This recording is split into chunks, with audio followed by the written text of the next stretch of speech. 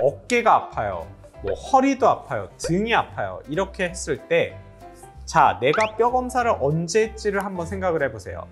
6개월 전에 했다. 검사한 지 1년 정도 됐다. 그러면 안심하셔도 돼요.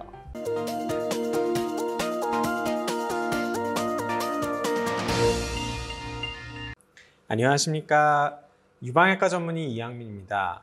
어, 여러분들 통, 유방암 수술하고 나서 통증 많이 있으시죠? 그 중에서도 제일 걱정이 되는 게 뼈 통증, 뭐 이제 어깨가 아프다든지 등까지 아프고 뭐 이런 뼈의 통증이 있을 때 뼈전이를 굉장히 걱정들 많이 하실 거예요. 그죠? 그래서 오늘은 뼈전이와 관련된 통증에 대해서 좀 말씀을 드릴까 해요. 사실 이전 영상에서 제가 뼈전이에 대해서 말씀을 드리면서 통증은 크게 걱정하실 필요가 없다고 말씀을 드린 바 있죠. 그쵸? 어, 하지만 통증이 있을 때 정말로 많이들 뼈전이를 걱정을 하시는 것 같아요. 그래서 그것에 대해서 확실하게 말씀을 드리겠습니다. 자, 뼈전이가 있다. 그러면 통증이 있을 수 있을까요? 물론 있을 수 있습니다. 그런데 언제 있을까요? 뼈전이가 있다고 무조건 통증이 있지는 않아요.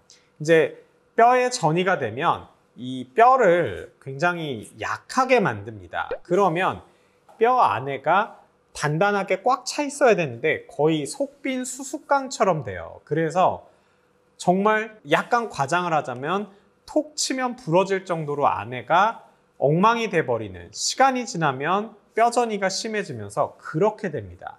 그렇게 될 때 통증이 생겨요. 또는 이미 골절이 됐어요. 뼈전이 때문에. 그럴 때 통증이 생깁니다. 뼈전이 자체가 생겼다고 해서 통증을 일으키는 경우는 굉장히 드물어요. 거의 없다고 보셔도 될 정도로 드문 일입니다. 통증이 있다. 뼈에 뭐 예를 들어서 뭐 어깨가 아파요. 뭐 허리도 아파요. 등이 아파요. 이렇게 했을 때 자, 내가 뼈 검사를 언제 했지를 한번 생각을 해 보세요. 6개월 전에 했다.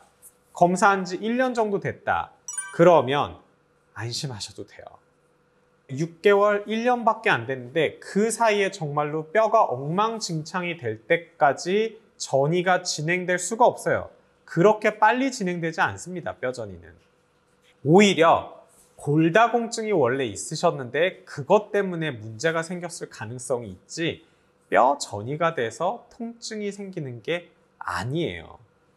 물론 내가 이제 5년이 넘었어요. 뭐 유방암 이제 치료 끝나고 5년이 넘었는데 그래서 뼈 검사 안 한 지 한 3, 4년 됐는데 어 갑자기 척추 쪽이 꽤 아파요. 그러면 그때는 혹시 뼈전이가 됐는지는 확인을 해야 됩니다. 뼈전이가 있다는 게 아니에요. 확인을 해봐야 되고 다른 문제가 있는지 이제 MRI도 찍고 그러면서 감별을 해야죠. 그럴 때는 모르겠는데 내가 뼈 검사한 지 얼마 안 됐는데 통증이 있다? 어, 그건 전혀 걱정 안 하셔도 됩니다. 근데 굉장히 많이 오세요. 저한테도 어, 오늘도 오셨었습니다. 정말 등까지 아프다고 괜찮은 거냐고 걱정하시는 분이 있었는데 괜찮아요. 그런 식으로 아픈 거는 그냥 근육 문제일 가능성 아니면 다른 유방암이 아닌 다른 그냥 정형외과적 문제일 가능성이 높은 거지 암 때문에 전이가 돼서 아픈 걸 가능성은 극히 낮습니다. 그래서 여러분들 통증이 있을 때 너무 걱정하지 마세요. 어, 여러분들이 이제 유방암의 전이 재발이 굉장히 두려우실 거예요. 그 두려움 때문에 더 자꾸 걱정을 하게 되는데 걱정하지 마시라고 제가 오늘 영상을 준비를 한 거고 그리고 자다가 갑자기 너무 뭐 이런 가슴 쪽이나 이런 근육 쪽 있는 데가 너무 아파서 깼어요. 어, 너무 무서워요. 이런 분들이 있을 거예요.